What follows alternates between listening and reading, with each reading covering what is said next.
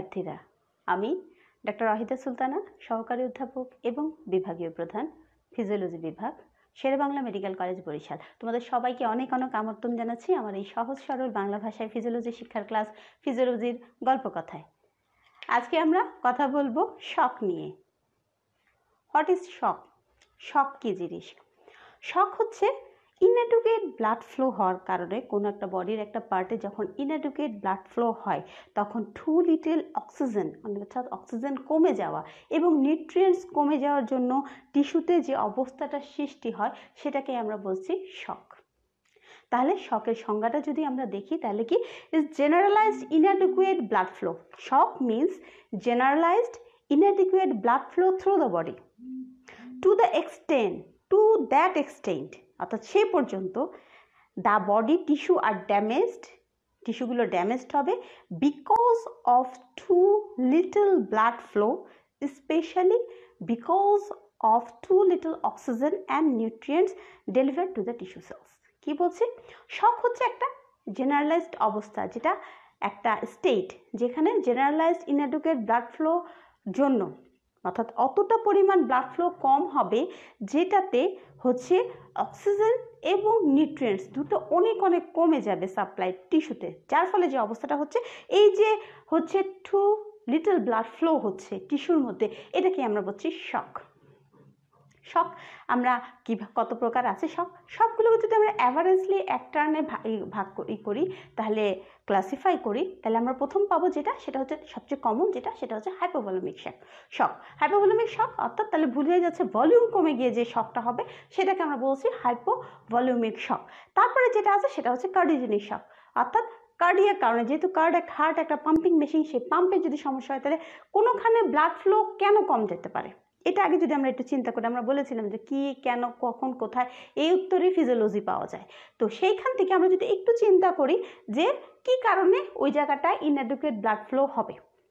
প্রথম কারণ হতেছে যে যদি আমার যে ব্লাডের যে ভলিউম সে ভলিউমটা যদি কমে যায়, তাহলে সেটা হবে হাইপোভলিউমিক শক আরেকটা হচ্ছে ভলিউম ঠিক আছে, কিন্তু যে পাম্প করছে পাম্প করে যে পাঠাচ্ছে, সেই পাঠানোর যে মেশিন যে হার্ট এই হার্টে যদি কোনো সমস্যা থাকে, তাহলে ওটাকে আমরা বলছি কার্ডিজেনিক শক এখন কার্ডিজেনিক শক আরেক জিনিস আছে, সেটা হচ্ছে আমার এই হার্টও ভালো আছে ভলিউমও ঠিক আছে, কিন্তু নিউরোলজিক্যাল কোনো কারণে, অর্থাৎ আমার যে সিগনাল এই পাম্পিং করাবে সিম্পেথেটিক স্টিমুলেশন যদি কাজ না করে প্যারাসিম্পেথেটিক ইফেক্ট যদি বেশি হচ্ছে, সেইটার কারণে যদি আমার হচ্ছে এই নিউরাল যদি ইফেক্ট হয় সাডেন নিউরাল ইফেক্ট হয়, সেই কারণে কিন্তু আমার এই পাম্পিং অ্যাকশন হতে হতে পারবে না।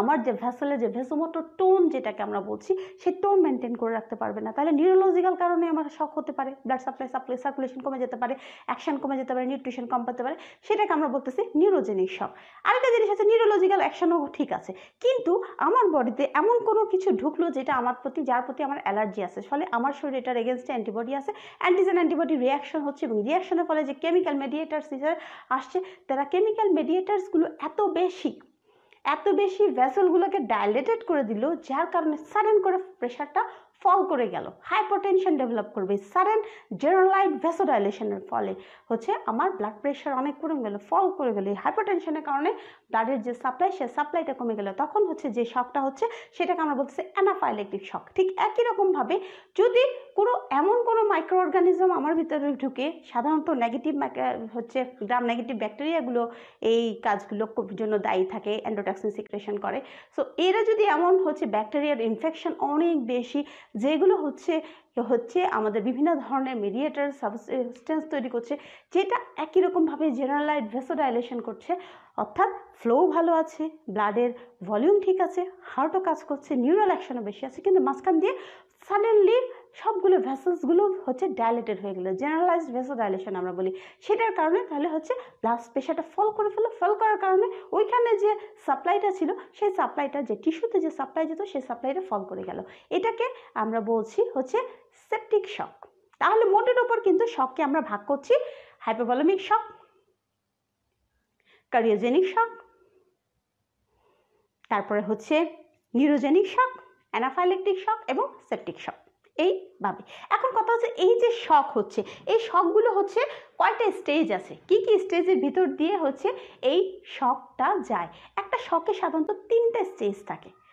তিনটে স্টেজ একটা হচ্ছে non progressive stage non progressive stage or compensatory stage অর্থাৎ আমার শরীরে হঠাৎ করে এমন কিছু পরিবর্তন হলো, হঠাৎ করে আমার কোনো জায়গায় হচ্ছে সার্কুলেশন হচ্ছে কমে গেল। কিন্তু আমার বডির যে হোমিওস্টেসিস মেকানিজম আছে, এই হোমিওস্টেসিস মেকানিজমের মাধ্যমে বডি অটোমেটিক্যালি সেই কন্ডিশনটাকে আবার রিভার্স করে নিয়ে আসতে পারতেছে। এইটার জন্য আমার বাইরে থেকে এক্সট্রা কোনো ট্রিটমেন্টের প্রয়োজন হচ্ছে না। বডি নিজের থেকে এটাকে রিকভার করে নিয়ে আসতে পারতেছে। এটাকে আমরা অর্থাৎ খারাপের দিকে প্রোগ্রেস করছে না।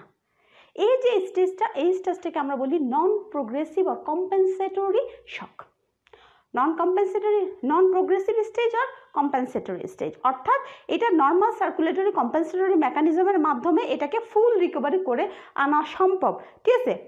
Out without the help of outside outside থেকে কোনো ড্রাগ বা অন্য কোনো হেল্প ছাড়া শুধুমাত্র নিজের যে বডির যে কম্পেনসেটরি মেকানিজম আছে, এই কম্পেনসেটরি মেকানিজম দিয়ে যখন শখটাকে রিকভার করা সম্ভব, তখন এটাকে আমরা বলতেছি non progressive stage or compensatory stage of shock second হচ্ছে এরপরে এমন একটা অবস্থা হলো যে বডির যে কম্পেনসেটরি মেকানিজম হচ্ছে, এই মেকানিজম দিয়ে হচ্ছে বডিটাকে রিকভার করা সম্ভব হচ্ছে না। অর্থাৎ এটা প্রোগ্রেস করছে এমন স্টেজে সেখানে যদি আমি ট্রিটমেন্ট বাইরে থেকে যদি হেল্প না দেওয়া হয় ট্রিটমেন্ট না দেওয়া হয়, তাহলে পেশেন্টটাকে রিকভার করানো একেবারেই সম্ভব না উইদাউট বাইরের হেল্প তাহলে এই স্টেজটাকে অর্থাৎ সেটা নন প্রোগ্রেসিভ থেকে প্রোগ্রেশন হয়েছে, খারাপের দিকে।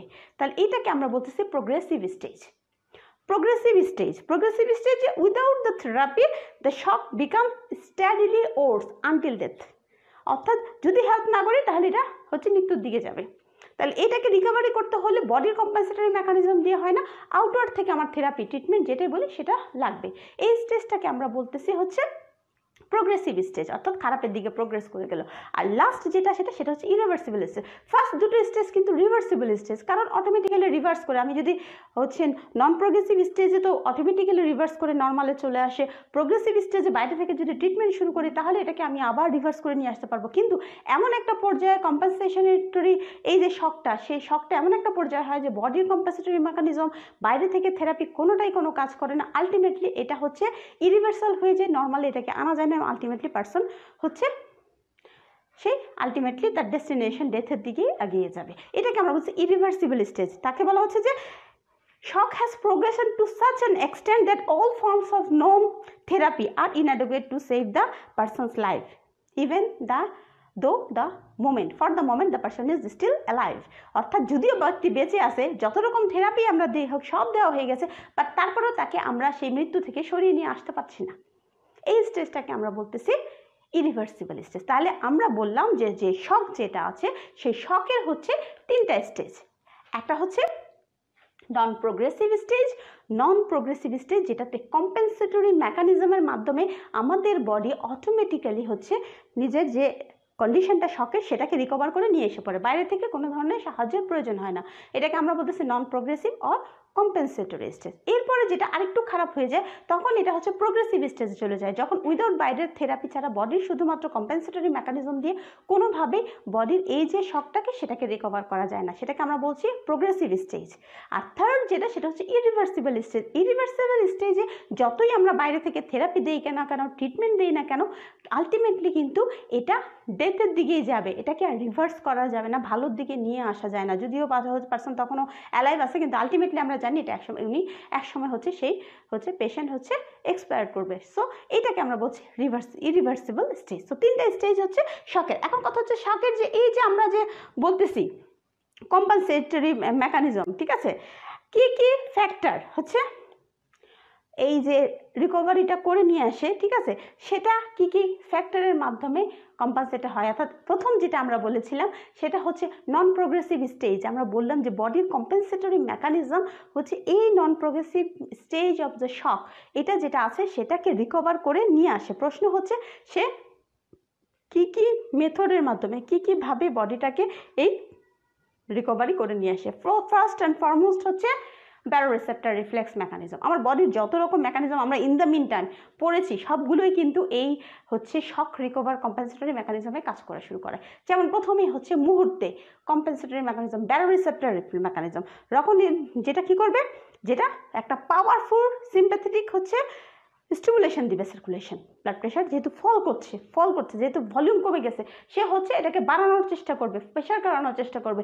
সেই হিসাবে কি করবে? ব্যারো রিসেপ্টার রিফ্লেক্স মেকানিজম কাজ করবে। যখনই এটার ভিতর দিয়ে, অর্থাৎ ব্যারো রিসেপ্টার যে ভিতর দিয়ে যখনই সার্কুলেশন যাচ্ছে সে বুঝতে পারছে প্রেশার ফল করছে, সে কিন্তু তার যেহেতু এটা ফিডব্যাক মেকানিজম নেগেটিভ ইফেক্ট হবে, তখন সে ভেসোমোটর এরিয়ার যে ভেসোমোটর টোন মেনটেন করবে এবং ভেসো কনস্টিটিউশন ঘটিয়ে সে একটু ব্লাড প্রেশার আপ করার চেষ্টা করবে। সেটাকে আমরা বলতেছি, সেটা হচ্ছে তাহলে প্রথম ইফেক্টই হচ্ছে একটা, যেটা আমরা বলি যে মুহূর্তের মধ্যে সেকেন্ডসের মধ্যে কাজ করে ফেলে, সেটা হচ্ছে আমাদের ব্যারো রিসেপ্টার রিফ্লেক্স মেকানিজম তো কম্পানসেটরি মেকানিজম হচ্ছে baro receptor reflex mechanism second যেটা কাজ করবে, সেটা হচ্ছে central nervous system ischemic mechanism যখনই শখ হবে, স্বাভাবিকভাবে আমার যে হচ্ছে ব্রেইনে যে সার্কুলেশন সে সার্কুলেশন হচ্ছে কমে যাবে। যখনই হচ্ছে এটা বেশিরভাগ হবে, যখন আল্ট্রা প্রেশার ফল করবে এবং সিএনএস ইস্কেমিয়া হবে, সেক্ষেত্রে যে অন্য ক্ষেত্রেও যে শুধু লোকাল একটা শখ হলো, সেটা কিন্তু না। আমরা জেনারেল শখ হচ্ছে তো সেই কারণে ব্রেইনে যেহেতু সার্কুলেশন কম হবে ব্রেইনে অক্সিজেন এবং নিউট্রিয়েন্টস কমে যাবে।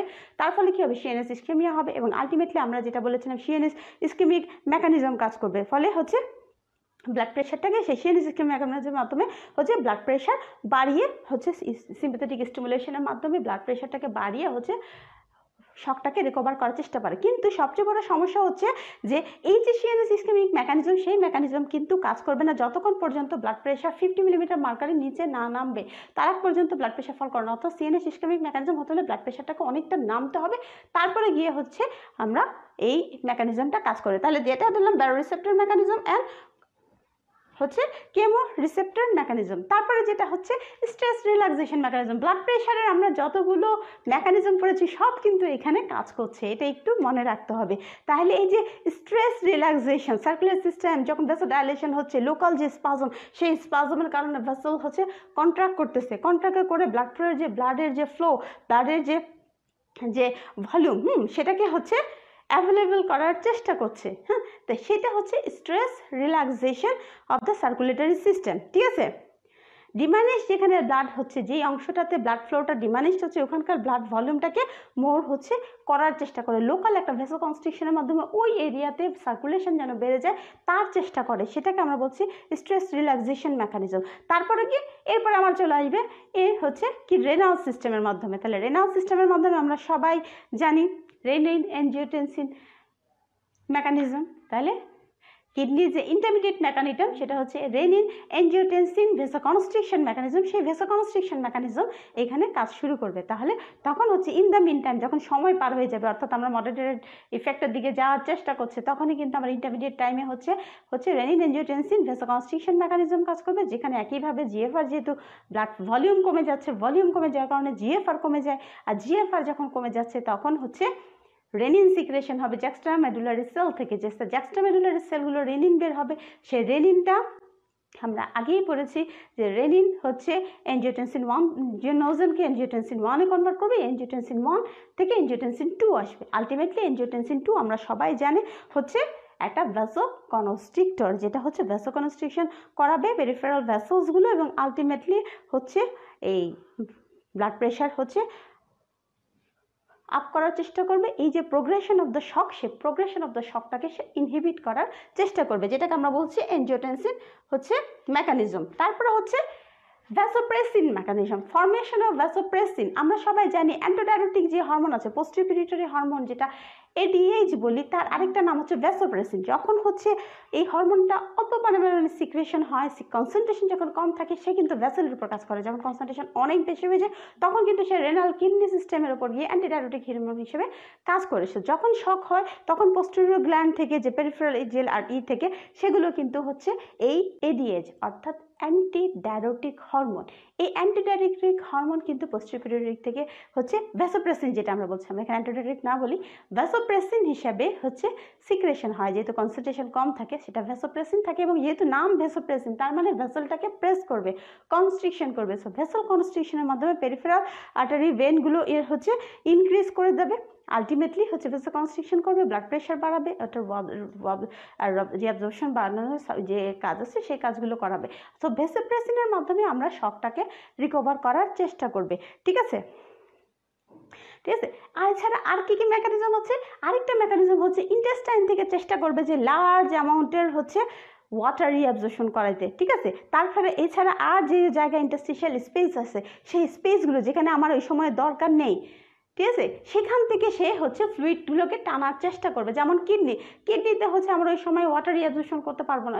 মানে বডি থেকে এক্সক্রিশন করতে করতে যাতে না হয়, সেখান থেকে ওয়াটার রিঅ্যাবজর্পশন হবে। ইন্টেস্টাইনাল ইন্টেস্টাইন থেকে আমার যে ওয়াটার বা অন্যান্য সাবস্টেন্স আছে, সেগুলো যেগুলো আছে, সেগুলোকে লার্জ প্রপোর্শনে সেগুলো হচ্ছে হচ্ছে রিঅ্যাবজর্পশন করার চেষ্টা করবে এবং সব কিছু করার মাধ্যমে। ঠিক আছে? এবং তখন কি হবে? থার্স্ট মেকানিজম কাজ করবে। কেউ যখন শখে থাকে, সে কিন্তু মুখ শুকিয়ে যাচ্ছে সে তার কিন্তু থার্স্ট মেকানিজম যদি সেন্স সেন্স থাকে, সে কিন্তু পানির জন্য বলবে। সো থার্স্ট মেকানিজম কাজ করে, সে কিন্তু ওয়াটার অর্থাৎ পানি খাওয়ার জন্য, অর্থাৎ হচ্ছে ফ্লুইড ইনজেকশন ইনজেকশন করার জন্য বডিতে চেষ্টা করবে।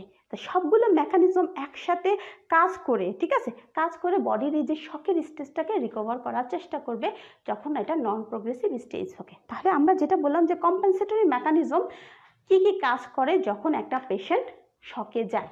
আমাদের বডি কি কি কাজ করে? প্রথম কথাই আমরা বললাম যে সাডেনলি যেহেতু ইমিডিয়েটলি ব্যারো ব্যারোরিসেপ্টার রিফ্লেক্স কাজ হয় বডিতে আমরা জানি। সো ব্যারো ব্যারোরিসেপ্টার রিফ্লেক্স কাজ করবে, এরপরে সিএনএস ইসকেমিক রেসপন্স কাজ করবে, তারপরে স্ট্রেস রিল্যাক্সেশন যে মেকানিজম আমাদের আছে, সেই স্ট্রেস রিল্যাক্সেশন মেকানিজম কাজ করবে। এরপরে হচ্ছে যে, যেহেতু হচ্ছে কিডনিতে ফ্লো কমে যাবে, সেক্ষেত্রে সেহেতু হচ্ছে স্বাভাবিকভাবে এনজিওটেন্সিন টু তৈরি হবে। রেনিন সিক্রেশন হবে এবং রেনিন সিক্রেশনের ফলে এনজিওটেন্সিন টু তৈরি হবে, যেটা ভেসো কনস্ট্রিকশন হিসেবে কাজ করে ভেসো পেরিফেরাল ভেসো কনস্ট্রিকশন করবে। তারপরে যেটা হবে পি পোস্টেরিয়র পিটুইটারি থেকে সিক্রেশন হবে। ভেসোপ্রেসিন হরমোন সিক্রেশন হবে, যেটাও হচ্ছে পেরিফেরালি ভেসো কনস্ট্রিকশন করে। এবং লাস্ট অফ অল বডির যেখান থেকে পারবে, সে হচ্ছে ওয়াটারগুলো রিঅ্যাবজর্পশনের পরিমাণ বাড়িয়ে দিবে। তার মধ্যে সবচেয়ে বড় সোর্স হচ্ছে ইন্টেস্টাইন ইন্টেস্টাইন থেকে ওয়াটার রিঅ্যাবজর্পশন করবে। কিডনি থেকে যেন এক্সক্রিশন বেশি না হয়, সেখান থেকে ওয়াটার রিঅ্যাবজর্পশন করার চেষ্টা করবে।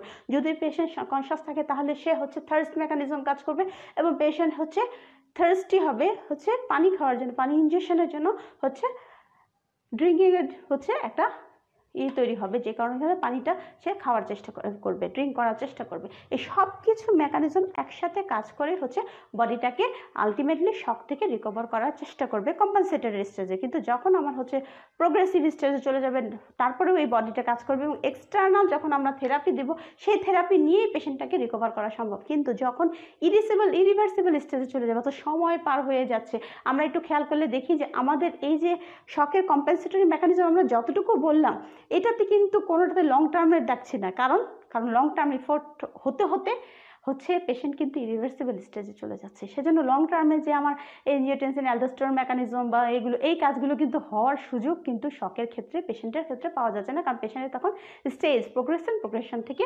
ইরিভার্সিবল স্টেজে চলে যাওয়ার সম্ভাবনা থাকে। সেজন্য সেটার কম্পেনসেটেড হতে পারে না। সো এটা হচ্ছে আমাদের কম্পেনসেটরি মেকানিজম এরপরে যেটা আমরা তাহলে প্রত্যেকটা এই যে হাইপোভ্যালুমিক শক নিরোজনী শক সে সম্বন্ধে আমরা একটু পড়তে পারি। প্রথম হচ্ছে, ঠিক আছে? এখন যে কথা হচ্ছে যে এই যে প্রোগ্রেসিভ শক আমরা সবাই জেনারেল ফিজিওলজি একটা জিনিস পড়েছিলাম, সেটা হচ্ছে ভিসিয়াস সাইকেল আমাদের এই যে কম্পেনসেটরি মেকানিজম অফ দ্য বডির যা কিছু হলো বডিটাকে কম্পেনসেটেড করে নিয়ে এসে শকটাকে রিকভার করার চেষ্টা করলে সবই কিন্তু হলো নেগেটিভ ফিডব্যাক মেকানিজম দিয়ে। কিন্তু কিন্তু হচ্ছে যখন এটা যেটা কম্পেনসেটেড মেকানিজম যেহেতু যখন প্রোগ্রেসিভ স্টেজে চলে যাচ্ছে, তখন কিন্তু এই প্রোগ্রেসিভ স্টেজটাকে করছে কি? করছে কিন্তু পজিটিভ ফিডব্যাক মেকানিজম অর্থাৎ নন প্রোগ্রেসিভ স্টেজ পর্যন্ত আমার হচ্ছে নেগেটিভ ফিডব্যাক মেকানিজম কাজ করতেছে। কিন্তু যখন এই যে নন প্রোগ্রেসিভ থেকে প্রোগ্রেসিভে হওয়ার কারণই হচ্ছে আমার পজিটিভ ফিডব্যাক মেকানিজম আমরা জেনারেল ফিজিওলজি ভিসিয়াস সাইকেল পড়েছিলাম, যেটা কার্ডিওভাস্কুলার ডিটোরিয়েশন করায়। কীভাবে করাচ্ছে? আমরা যদি একটু চিন্তা করি, তাহলে নন প্রোগ্রেসিভ থেকে প্রোগ্রেসিভ কীভাবে হচ্ছে? ঠিক আছে? যখন শখ থাকছে, যখনই শখ হচ্ছে, তখন কি হচ্ছে? কার্ডিয়াক আউটপুট কমে যাচ্ছে। তার মানে কি হচ্ছে? কার্ডিয়াক আউটপুট কম, তার মানে আর্টারিয়াল প্রেশার ডিক্রিজ করবে। তার ফলে কি হবে? সিস্টেমিক যে ব্লাড ফ্লো সেই ব্লাড ফ্লোগুলো ডিক্রিজ হচ্ছে। এর ফলে তিনটা জিনিস হচ্ছে। একটা হচ্ছে একটা হচ্ছে কার্ডিয়াক নিউট্রিশন কার্ডিয়াক নিউট্রিশন আমরা একটু হচ্ছে যদি ফ্লো শিটের মাধ্যমে একটু দেখতে চাই, তাহলে জিনিসটা মনে হয় বুঝতে সুবিধা হবে। আমরা যেটা বললাম যে নন প্রোগ্রেসিভ থেকে প্রোগ্রেসিভ স্টেজ অফ শকে যায় হচ্ছে আমার পজিটিভ ফিডব্যাক মেকানিজম যে এই কার্ডিয়াক ডিটোরিয়েশনের জন্য দায়ী হচ্ছে পজিটিভ ফিডব্যাক মেকানিজম তাহলে আমরা প্রথমে যেটা বললাম সেটা হচ্ছে shock patient shock cardiac output decrease cardiac output decrease মানে হচ্ছে arterial pressure decrease decrease arterial pressure মানে হচ্ছে কি? ডিক্রিজ হচ্ছে systemic blood flow systemic blood flow blood flow যে বিভিন্ন পার্টে সিস্টেমিক ব্লাড ফ্লো হচ্ছে, সেগুলো ডিক্রিজ করছে। এই decrease systemic blood flow decrease করার কারণে হচ্ছে কি কি ঘটনা ঘটতেছে? একটা হচ্ছে হার্টের নিজের। নিজের হচ্ছে সার্কুলেশন যেটা হচ্ছে, সেটা হচ্ছে কার্ডিয়াকের নিজের নিউট্রিশন কমে যাচ্ছে। So decreased cardiac nutrition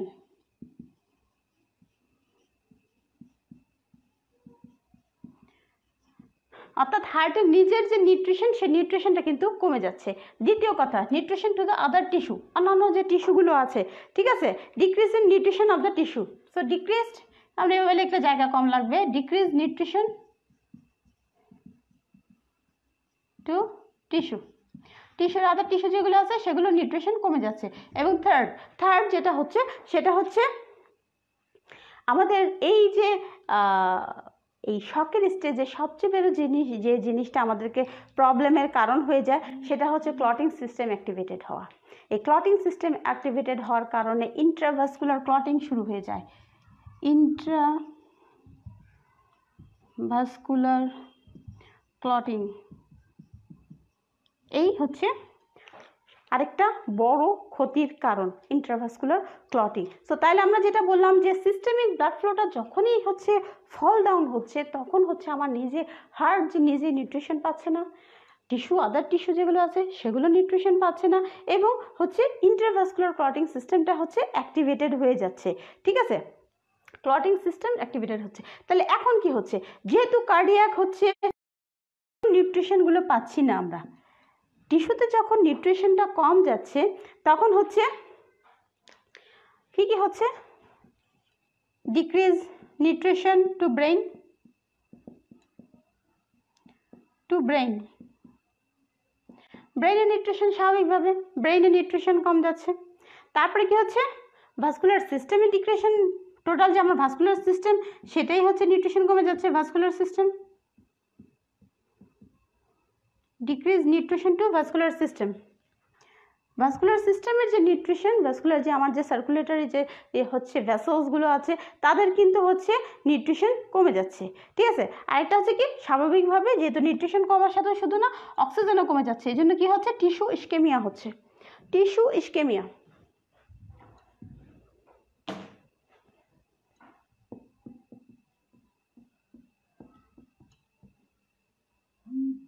tissue ischemia হচ্ছে। তাহলে এই যে নিউট্রিশন হচ্ছে decrease nutrition to the tissue এর ইফেক্টে আমার যেহেতু ব্রেনে ব্রেনের নিউট্রিশন কম যাচ্ছে ভাস্কুলার যে সিস্টেম আছে, সেখানে নিউট্রিশন কম আছে, কারণ হার্টে একবার হার্টে তো আমরা দেখিয়ে নিচ্ছি অলরেডি নিউট্রিশন কম। ভাস্কুলার সিস্টেম যেগুলো আছে, সেগুলোতে নিউট্রিশন কম হচ্ছে এবং শুধু নিউট্রিশন শুধু না অক্সিজেন কম যাওয়ার কারণে কিন্তু এই টিস্যুর মধ্যে ইস্কিমিয়া হচ্ছে। ঠিক আছে? তাহলে ভাস্কুলার যেহেতু হচ্ছে নিউট্রিশন কম হচ্ছে, তাহলে এই যে ব্রেইনের যে নিউট্রিশন হ্যাঁ ব্রেইনের যখন নিউট্রিশনটা কম হবে, তখন ভেসোমোটর অ্যাক্টিভিটি কমে যাবে। নিউট্রিশন যখনই কম হচ্ছে, তখন ভেসোমোটর অ্যাক্টিভিটি কম হবে। অর্থাৎ ভ্যাসো কনস্ট্রিকশন পাওয়ার যে আছে আমার সেন্ট্রাল নার্ভাস সিস্টেমের ভেসোমোটর অ্যাক্টিভিটি সেটা কিন্তু কমে যাচ্ছে। ভেসোমোটর অ্যাক্টিভিটি ডিক্রিজ করে যাচ্ছে। ঠিক আছে? ভ্যাসোমেটর অ্যাক্টিভিটি আর এইখানে যেহেতু ভাস্কুলার সিস্টেমের নিউট্রিশন কমে যাচ্ছে, সেই নিউট্রিশন কমে যাওয়ার জন্য দুটো জিনিস হচ্ছে। একটা হচ্ছে ভাস্কুলার যেহেতু নিউট্রিশন কমে যাচ্ছে, দুটো জিনিস হবে।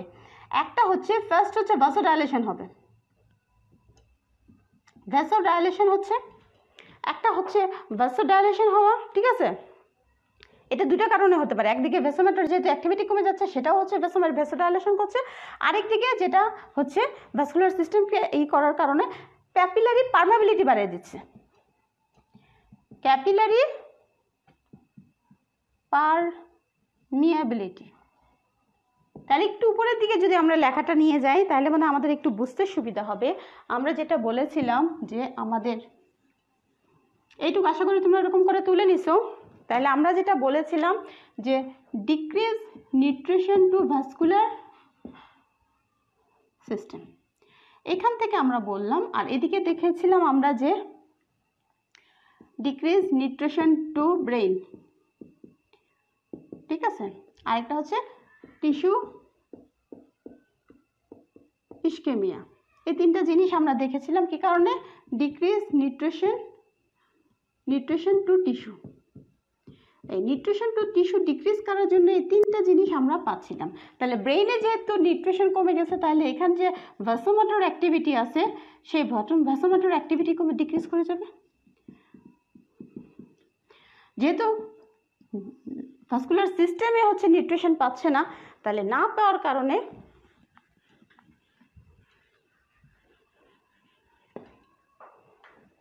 না কারোর কারণে দুইটা কারণ হবে। একটা হচ্ছে ভ্যাসোডাইলেশন হবে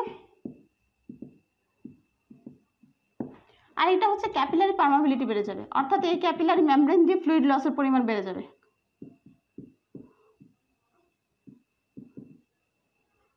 একদিকে হচ্ছে ভেসেল ডাইলেটেড হয়ে যাচ্ছে ভেসেলের এরিয়া বেড়ে যাচ্ছে, আরেকদিকে হচ্ছে দুটো সেলের মাঝখানে গ্যাপ পারমাবিলিটিটা বেড়ে যাচ্ছে। বেড়ে ওখান দিয়ে ফ্লুইড কিন্তু বাইরে চলে যাচ্ছে। ভেসেলের ভিতরে যে ভলিউম সে ভলিউম কিন্তু কমে যাচ্ছে দুইভাবেই। একদিকে ডাইলেশন হচ্ছে প্রেশার কমে যাচ্ছে হাইপারটেনশন হচ্ছে, আবার ওদিকে ফ্লুইড লস হচ্ছে। সেটার কারণে হচ্ছে। ঠিক আছে? আবার ওদিকে ব্রেনে আমাদের ভেসোমোটর অ্যাক্টিভিটিটা ডিক্রিজ করেছে, তাহলে সে ভেসো কনস্ট্রিকশন করতে পারতেছে না। আলটিমেটলি এই যে ভেসোমোটর অ্যাক্টিভিটি ডিক্রিজ করছে, এইটার কারণেও কিন্তু ভেসো ডাইলেশন কে অ্যাগ্রিভেট করতেছে। আরও বেশি ভেসো ডাইলেশন হচ্ছে। ঠিক আছে? এই ভেসো ডাইলেশন হওয়ার কারণে এই যে আমার যে ভেনাস পুলিং, অর্থাৎ ভেনাস যেটা এরিয়া আছে, ওইখানে ভেনাস পুলিং হচ্ছে, ওখানে কিন্তু ফ্লুইডটাকে বেড়ে যাচ্ছে। ফ্লু, ভেনাস এরিয়ার যে ভেনা, যে আমরা বলেছিলাম যে ক্যাপাসিটেন্ট বাস ভেসলস এইখানে যে ফ্লুইডের পরিমাণ বেড়ে যাচ্ছে, এটা ভেনাস পুলিং বলি আমরা, সেই ভেনাস পুলিং হচ্ছে। ভেনাস এরিয়ায় ব্লাড কিন্তু বেশি বেড়ে গেছে। ভেনাস পুলিং হয়ে যাচ্ছে, ঠিক আছে? তারপরে হচ্ছে, তারপরে কি হচ্ছে? আমার এইখানে যে, এই যে ক্যাপিলারি পারমাবিলিটি বাড়লো, এই যে ভ্যাসোডাইলেশন হচ্ছে ক্যাপিলারি পারমা হচ্ছে, তাহলে কি হচ্ছে? টোটাল মোটে ক্যাপিলারি পারমালিটির জন্য বিশেষ করে, এই এটাতে না দিই, এই ক্যাপিলারি পারমালিটির জন্য কিন্তু ভলিউম কমে গেল। ঠিক আছে? আমার এই যে হচ্ছে ব্লাড ভলিউম ছিল, যেহেতু পারমাবিলিটি বেড়ে যাওয়ার কারণে ওখান থেকে ফ্লুইড লস হচ্ছে, তাহলে কিন্তু ব্লাডের ভলিউম কমে গেল। তাহলে ওই যে ভলিউম আমার যে ছিল, একে তো হাইপোটেনশন হচ্ছে ভ্যাসোডাইলেশন হচ্ছে, তাহলে আমরা উপর থেকে চিন্তা করি, যেহেতু ব্রেইনে ইস্কেমিয়া হচ্ছে ব্রেইনে নিউট্রিশন পাচ্ছে না, তাহলে সেই ব্রেইন তখন আর ভ্যাসোমোটর অ্যাক্টিভিটিটাকে কাজ করাতে পারছে না। ভ্যাসোমোটর অ্যাক্টিভিটি কাটা স্লো হয়ে যাচ্ছে, তার ফলে সেলে ভেসোডাইলেশন হচ্ছে ভেসো কনস্ট্রিকশন হচ্ছে না ভেসো ভেসেলকে কন্ট্রিক্ট করতে পারছে না, তাহলে ভেসো ডাইলেশন হচ্ছে। আবার উল্টো দিকে, এদিকে ভাস্কুলার সিস্টেমে যেহেতু নিউট্রিশন যাচ্ছে না, সে অটোমেটিক ভায়োডাইলেশন হচ্ছে। ওদিকে আমার ভেসোমোটর অ্যাক্টিভিটিও কাজ করছে না, সে কারণে আরও ভেসোডাইলেশন হচ্ছে। এদিকে হচ্ছে দুটো সেলের মাঝখানে যে ক্যাপিলারির যে এন্ডোথেলের মাঝখানে গ্যাপ বেড়ে যাক পারমাবিলিটি বেড়ে যাচ্ছে, ফলে ফ্লুইড লস হচ্ছে ইন্টার ইন্টারস্টিশিয়াল স্পেসে ফ্লুইড চলে যাচ্ছে ভাস্কুলার স্পেস থেকে, ফলে কি হচ্ছে ব্লাডের ভলিউমও কিন্তু কমে যাচ্ছে। ঠিক আছে? আর যেহেতু টিস্যু ইস্কেমিয়া হচ্ছে, সেখান থেকে আমরা এই ইস্কেমিয়া মানে হচ্ছে টিস্যু ইঞ্জুরি আর টিস্যু ইঞ্জুরি যখনই হবে, তখন টক্সিন অর্থাৎ কেমিক্যাল মেডিয়েটার্স তৈরি হচ্ছে। তাহলে কত দিক থেকে আমাদের সমস্যা হচ্ছে? ঠিক আছে? তাহলে এদিকে ভেনাস পুলিং হচ্ছে এইখানে ব্লাড ভলিউম কমে যাচ্ছে। ঠিক আছে? তাহলে এটা কি হচ্ছে? মোটের ওপর কিন্তু আমার ভেনাস রিটার্নও বানিয়ে কমিয়ে দিচ্ছে। ভেনাস রিটার্ন শুধু এটা না ভেনাস রিটার্নের কারণে আমরা ওখানে পড়েছিলাম যে ক্লটিং সিস্টেম ইন্টারভাসকুলার ক্লটিং বাড়িয়ে দিচ্ছে। আগে দেখেছিলাম ইন্টারভাসকুলার ক্লটিং তাহলে এখানে কিছু কিছু হচ্ছে ক্লটিংয়ের জন্য ব্লাড ক্লট হয়ে যাচ্ছে। তাহলে এই একটা ইফেক্টও এটার সাথে এক হয়ে ভেনাস রিটার্ন কমিয়ে দিচ্ছে। ঠিক আছে? তাহলে ভেনাস রিটার্ন যখন কমতেছে আলটিমেটলি সেটা হচ্ছে কার্ডিয়াক আউটপুট যেটা আমরা বলেছিলাম যে ডিক্রিজ কার্ডিয়াক আউটপুট সেই কার্ডিয়াক আউটপুটকে আরও ডিক্রিজ করতেছে, সেই আরও ডিক্রিজের ফল আরও বেশি হচ্ছে। অর্থাৎ পজিটিভ ফিডব্যাক মেকানিজম কিন্তু গোয়িং অন যেটাকে আমরা বলছি ভিসিয়াস সাইকেল এবং আলটিমেটলি পেশেন্ট কিন্তু ইরিভার্সিবল স্টেজে যাবে এবং ডেথ হবে। তাহলে এই যে প্রোগ্রেসিভ স্টেজে প্রোগ্রেসিভ স্টেজে কাজ করছে রেসপন্সিবল হচ্ছে পজিটিভ ফিডব্যাক মেকানিজম কীভাবে আমরা বললাম, যখন কার্ডিয়াক আউটপুট কমে যাচ্ছে, তার মানে হচ্ছে আটারের ব্লাড প্রেশার ফল করছে। আটারের প্রেশার প্রেশার যখন পাত করছে, তাহলে সিস্টেমিক ব্লাড ফ্লো কমছে।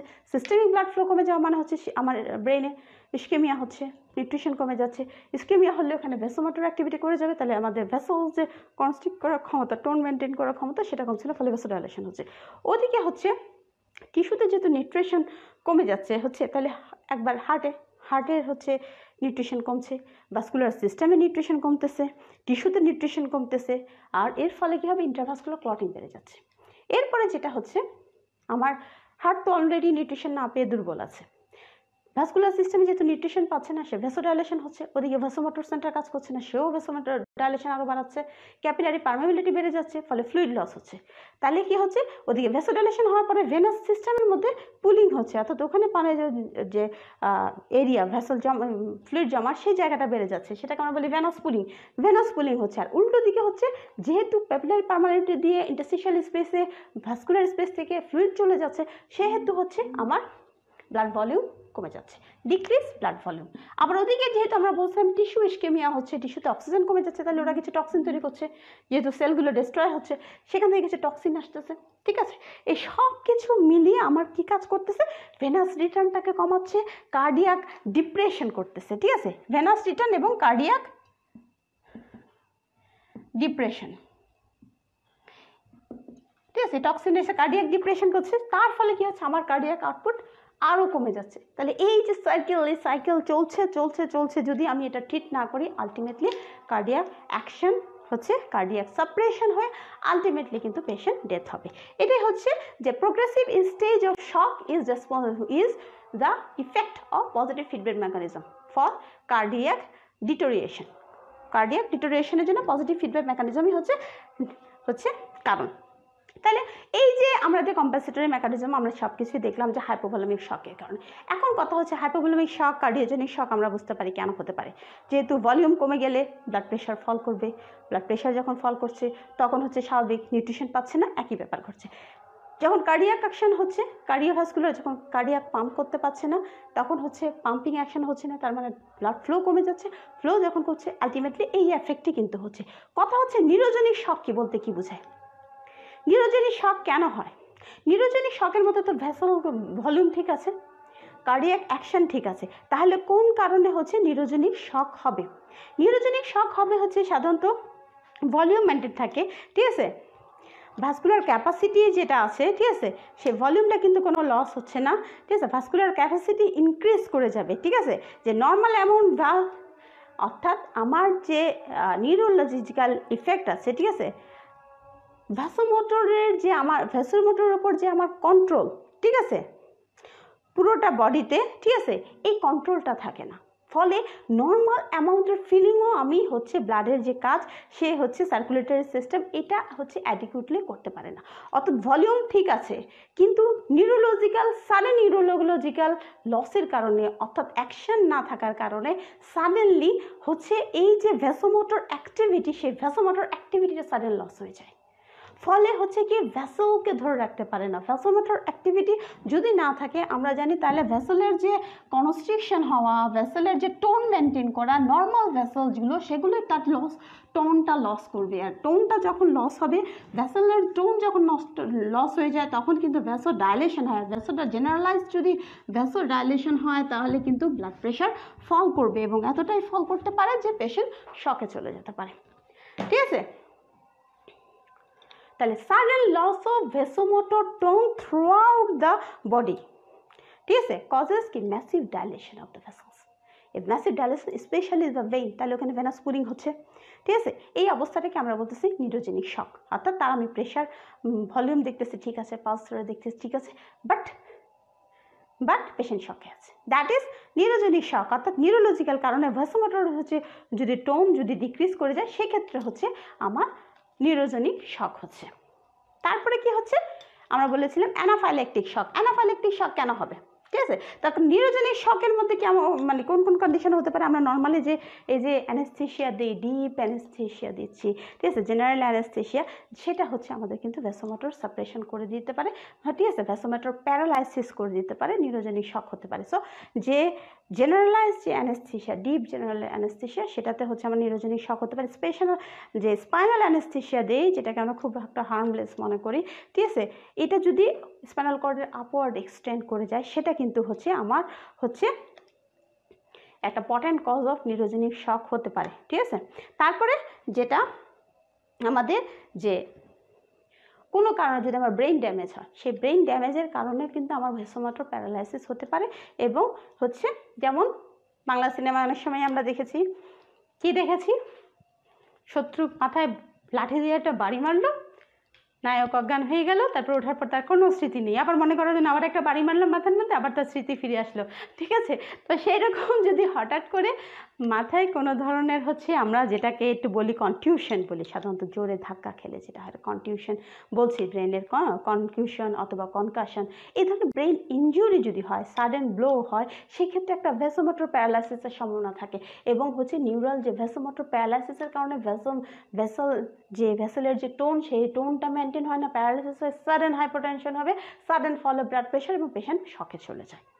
ঠিক আছে? এবং সাধারণত পাঁচ দশ মিনিট হচ্ছে থাকতে পারে, ঠিক আছে? কিন্তু যদি বেশি থাকে তাহলে কিন্তু টোটাল হচ্ছে inactivation of the vasomotor tone হতে পারে।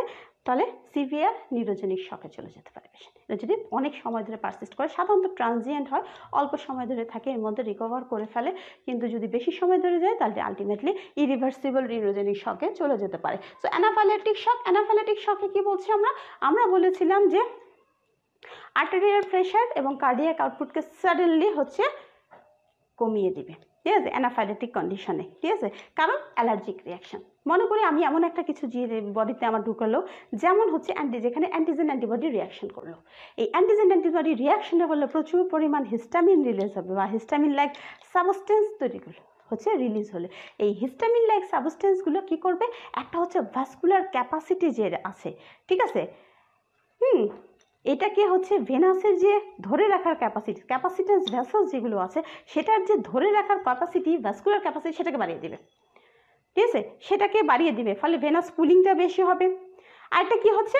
আর্টারিওলার ডায়ালিটেশন করবে। আর্টারিওল তো রেজিস্ট্যান্স ভেসেলস যেহেতু আর্টারিওল ডায়ালিটেশন হচ্ছে, তাহলে রেজিস্ট্যান্স কমে যাচ্ছে হাইপারটেনশন হচ্ছে ব্লাড প্রেশার ফল করছে ডায়াস্টলি ব্লাড প্রেশার কমে যাচ্ছে, যেটা আমরা বলি প্রেফার রেজিস্ট্যান্স কমে যাচ্ছে সব কিছু কোনো ব্লাড প্রেশার ফল করে যাচ্ছে। ঠিক আছে? তাহলে ডায়ালিটেশন হচ্ছে।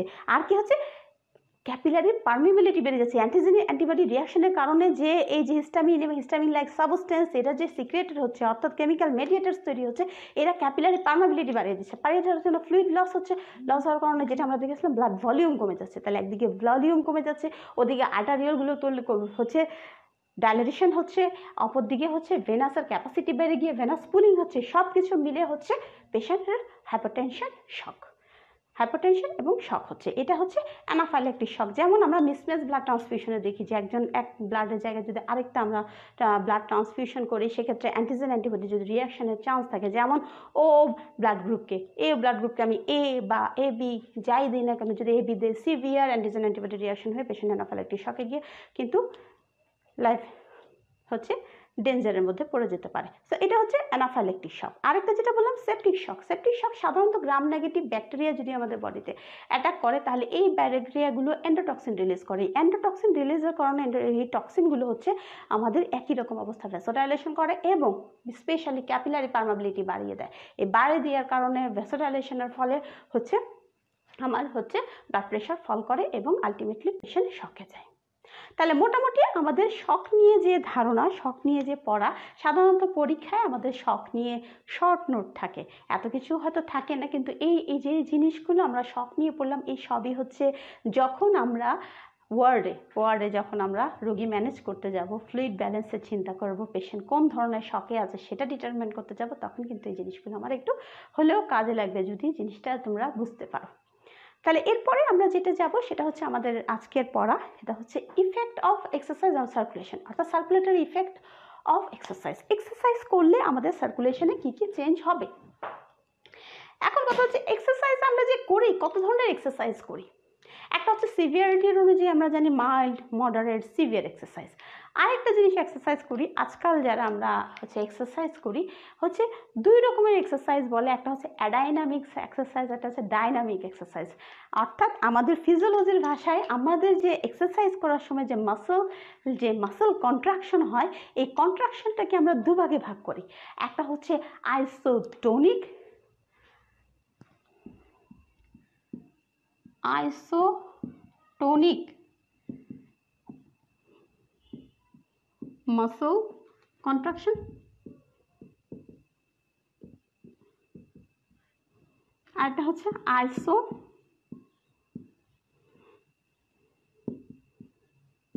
isometric muscle contraction isotonic muscle contraction এবং isometric muscle contraction. Isotonic muscle contraction মানে কি? আইসো মানে তো সমান। টোনিক মানে টোন সমান। তাহলে এখানে মাসল কন্ট্রাকশনের হচ্ছে মাসলের যে ফাইবারের লেন্থ, সেটা শর্ট হচ্ছে। অর্থাৎ কন্ট্রাকশন, রিয়েল কন্ট্রাকশন এখানে হচ্ছে। তাহলে shortening of the muscle fibre হচ্ছে। শর্ট হচ্ছে, আবার নর্মাল হচ্ছে। শর্ট হচ্ছে, নর্মাল হচ্ছে। এটা হচ্ছে আমরা বলছি আইসোটোনিক মাসল কন্ট্রাকশন যেটা আমরা স্কেলেটাল মাসল কন্ট্রাকশনের মধ্যে পড়েছিলাম আইসোটোনিক সেটা হচ্ছে আমাদের আইসোটোনিক মাসল কন্ট্রাকশন অর্থাৎ shortening of the muscle fibre হচ্ছে। আইসোমেট্রিক মাসল ফাইবার এটা মনে রাখতে হবে আইসো মানে সমান ম্যাট্রিক মানে মাপ কার মাসল ফাইবারের তাহলে মাসেলের ফাইবারের লেন্থ ঠিক আছে, অর্থাৎ এখানে শর্টেনিং হয় না। শর্টেনিং হয় না, কিন্তু এর যে টোন এই টোনটা চেঞ্জ হয়, অর্থাৎ মাসেলের উপর যে প্রেশার সেই প্রেশারটা হচ্ছে বাড়ে। গ্র্যাজুয়ালি বাড়তে থাকে। এইটাকে আমরা বলতেছি আইসোমেট্রিক মাসল কন্ট্রাকশন আমরা যে হাঁটি, হাঁটাহাঁটি করি, দৌড়াই অ্যারোবিক এক্সারসাইজ করি, এই সব কিছুই হচ্ছে আইসোটোনিক মাসল কন্ট্রাকশন অর্থাৎ টোন ঠিক থাকছে তুমি মাসলের কন্ট্রাকশন রিল্যাক্সেশন কন্ট্রাকশন রিল্যাক্সেশন হচ্ছে আমাদের বডির জন্য কিন্তু এই মাসল কন্ট্রাকশন ভেরি মাচ হচ্ছে উপযোগী। আইসোটোনিক মাসেল কন্ট্রাকশন এখন সবাই বলে যে অ্যারোবিক এক্সারসাইজ করার জন্য অথবা হাঁটার জন্য যে হাঁটা হচ্ছে বেস্ট এক্সারসাইজ অথবা হচ্ছে অল্প ইয়েতে দৌড়ানোর জন্য বলা হয়। তো এগুলো সবগুলো হচ্ছে আইসোটোনিক মাসল কন্ট্রাকশন আর আইসোমেট্রিক মাসেল কন্ট্রাকশন কোনটা আমরা জিমের মধ্যে যে পুল টুল করি। সেই সেগুলো যে, সেখানে কি হচ্ছে ফাইবারই হচ্ছে না। আমরা যে টেনে ধরে রাখছি, এই ধরে রাখার ফলে টোনটা চেঞ্জ হচ্ছে। আমার কিন্তু মাসল ফাইবার যেগুলো হচ্ছে লেন্থ আর চেঞ্জ হচ্ছে না। কিন্তু টোনটা চেঞ্জ হচ্ছে। অর্থাৎ অলওয়েজ একটা কনস্ট্রিক্টেড স্টেজে আমরা যখন মাসল কন্ট্রাক্ট করাই কন্ট্রাকশনের ফলে আমাদের এই মাসলের মধ্যে যে ভ্যাসেলগুলো আছে, তারা কিন্তু প্রবল প্রেশারের মধ্যে থাকে এই মাসলে তাহলে মাসল যখন শর্টেনিং অ্যান্ড লেন্থেনিং হয়, তখন কিন্তু ভ্যাসেলগুলো একবার হচ্ছে চাপ খায়, আবার সরে যায়। চাপ খায়, সরে যায়। কিন্তু যখন আমার এই আইসোমেট্রিক মাসল কন্ট্রাকশন হবে, অর্থাৎ টোন কিন্তু গ্র্যাজুয়ালি একটা কনস্ট্যান্ট টোনের মধ্যে সে থেকে যাচ্ছে। ফলে ভ্যাসেলগুলো অনেক বেশি প্রেসারাইজ থাকে, এদের কিন্তু পেরিফেরাল রেজিস্ট্যান্স বেড়ে যাওয়ার সম্ভাবনা থাকে। অর্থাৎ আইসোমেট্রিক মাসল কন্ট্রাকশন একটা স্টেপ পর্যন্ত হচ্ছে পেরিফেরাল রেজিস্ট্যান্স বাড়বে না, কমিয়ে রাখবে। ঠিক আছে? আর মেট্রিক কন্ট্রাকশনে যেটা হবে, সেটা হচ্ছে ক্রমানুগত পেরিফেরাল রেজিস্ট্যান্স বাড়বে। ঠিক আছে? তাহলে আমাদের এক্সারসাইজের সময় কি হচ্ছে? তাহলে এক্সারসাইজে যখন আমরা নর্মালি এক্সারসাইজ করি, আমাদের যে সবাই আমরা জানি যে কার্ডিয়াক আউটপুট সেই কার্ডিয়াক আউটপুট অর্থাৎ আমরা এক্সারসাইজ যখনই করছি, তখন আমার স্ট্রোক ভলিউম বেড়ে যাচ্ছে। তাহলে স্ট্রোক ভলিউম বাড়ছে। স্ট্রোক ভলিউম বাড়ছে। তার মানে কি? সিম্পাথেটিক স্টিমুলেশন হচ্ছে আমার যেহেতু বডির হচ্ছে নিড বেড়ে যাচ্ছে সিম্পাথেটিক স্টিমুলেশন বাড়ছে, তার মানে হচ্ছে কি আমার হার্ট রেট বাড়ছে। হার্ট রেট বাড়ার বাড়া মানে হচ্ছে মোটর আমার কার্ডিয়াক আউটপুট বাড়ছে। কার্ডিয়াক আউটপুট বাড়ছে মানে হচ্ছে আমার যে পালস সেগুলো আমরা বেশি পাচ্ছি। অর্থাৎ সবগুলো সিস্টেম আমার স্ট্রোক ভলিউম অনেক অনেক অনেক গুণ বেড়ে যাচ্ছে। এই আমার এক্সারসাইজের সময় আমরা কিন্তু আইসো টনিক এক্সারসাইজ নিয়ে কথা বলতেছি। তাহলে বেড়ে যাচ্ছে। পেরিফেরালি কি হচ্ছে? তাহলে যখন আমরা মাইল্ড এক্সারসাইজ করছি মাইল্ড ধরনের এক্সারসাইজ করছি, আমার কি হচ্ছে? যেহেতু কার্ডিয়াক আউটপুট বাড়ছে হার্ট রেট বাড়ছে, সেহেতু আমার হচ্ছে সিস্টেমিক ব্লাড প্রেশার বাড়ছে। আমার কিন্তু ডায়াস্টলিক ব্লাড প্রেশার আনচেঞ্জ থাকতেছে। হচ্ছে চেঞ্জ হচ্ছে না নর্মাল থাকছে। ডায়াস্টলিক ব্লাড প্রেশার নর্মাল থাকতেছে।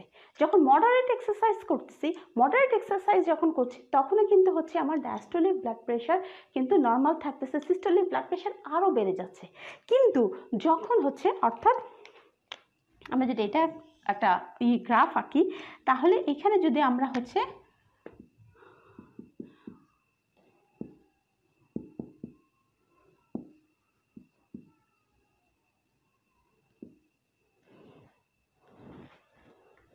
এখানে দেওয়া উচিত না তাহলে ভুল হয়ে যাবে। যেটা আমরা মনে করি যে দুইটা যদি আমরা এক্সারসাইজের হিসাব করি প্রেশারের হিসাব করি, মনে করি সিস্টোলিক ব্লাড প্রেশার হ্যাঁ?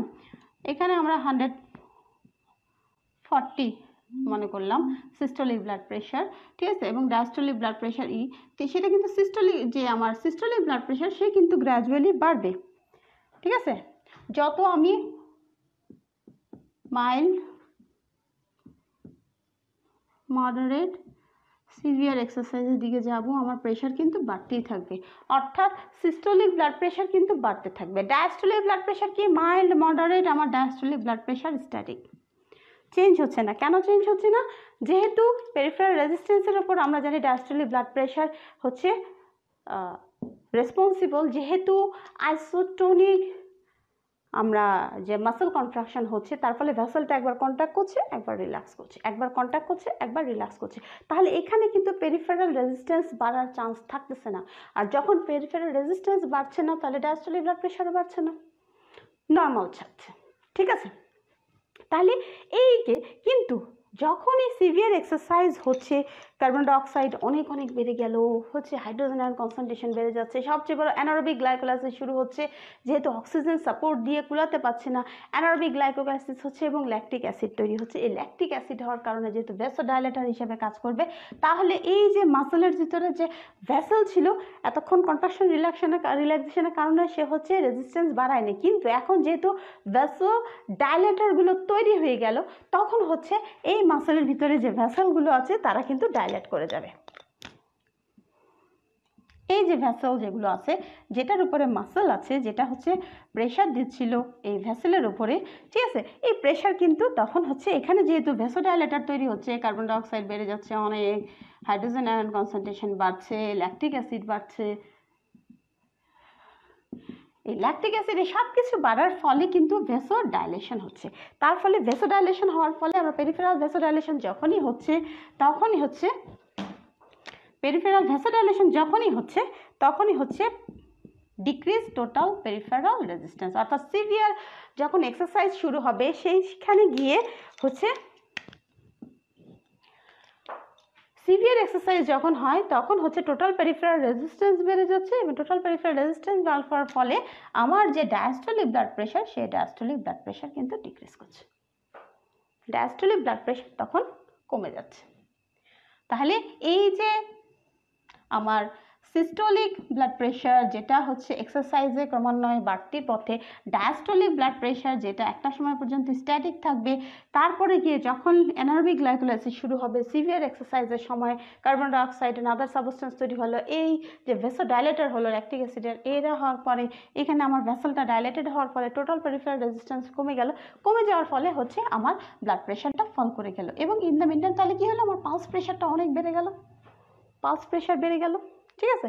তাহলে এই যে ডায়াস্টলে ব্লাড প্রেশারটা ফল করে গেল, এটা হচ্ছে সিভিয়ার এক্সারসাইজের ইফেক্ট তাহলে এক্সারসাইজের উপর আমাদের ভ্যাসেলের ইফেক্ট যেটা হার্টের উপর আমরা বলেছি যখন এক্সারসাইজ করব সেই সময়। এই জন্য কিন্তু একটা কথা বলে নিই যে যারা হচ্ছে হাইপারটেন্সিভ পেশেন্ট হাইপারটেন্সিভ পেশেন্টকে কিন্তু এই জন্য আমরা তো সাধারণত প্রেশার বলতে ডায়াস্টলিক ব্লাড প্রেশারটাকে সবচেয়ে বেশি ধরি, কারণ ওটাই আমাদের কাছে মুখ্য। তো সেই জন্য যারা এক্সারসাইজ মানে যারা হাইপারটেন্সিভ পেশেন্ট তাদেরকে কিন্তু ওই আইসোমেট্রিক যে মাসেল কন্ট্রাকশন অর্থাৎ যে পুলিং যে এক্সারসাইজগুলো সেই এক্সারসাইজগুলো করতে সাধারণত বিরত করা হয়। এগুলো না করে বরং তাদেরকে এই যে আমার আইসোটোনিক মাসেল কন্ট্রাকশন হয়, অর্থাৎ ওয়াকিং রানিং অ্যারোবিক এক্সারসাইজ এগুলোকে বেশি হচ্ছে ইনফ্লুয়েন্স করা হয়। যেটা হচ্ছে এই পেরিফেরাল রেজিস্ট্যান্সের সমস্যাটা তৈরি করে না ব্লাড প্রেশার বাড়ানোর ঝুঁকি ডায়াস্টোলিক ব্লাড প্রেশার বাড়ানোর ঝুঁকি থাকে না। তাদের ক্ষেত্রে কিন্তু যারা হাইপারটেনসিভ তাদের ক্ষেত্রে এই এক্সারসাইজটাকে বেশি হচ্ছে ইনফ্লুয়েন্স করা হয়। তাদেরকে এই ধরনের এক্সারসাইজ করতে ইফেক্ট করা হয়। তাতে বেশি এক্সারসাইজ যদি এক্সারসাইজও করা তাও কিন্তু ডায়াস্টোলিক ব্লাড প্রেশার বরং ফল করার সম্ভাবনা থাকে। তাহলে ব্লাড প্রেশার বরং কমে যাওয়ার সম্ভাবনা থাকে। সো তাহলে যেটা আমরা বলছিলাম, যে সিস্ট যে এক্সারসাইজের ইফেক্ট অন সার্কুলেশন আমরা যেটা বললাম যে কার্ডিয়াক আউটপুট বাড়বে হার্ট রেট বাড়বে স্ট্রোক ভলিউম বাড়বে। তার ফলে কি হবে? আমার যে পেরিফেরালি পেরিফেরালি হচ্ছে আমার ফ্লো যেটা বাড়বে সো নর্মালি যেটা হয় যে এক্সারসাইজে সিম্প্যাথিক অ্যাক্টিভেশন বেড়ে যাচ্ছে।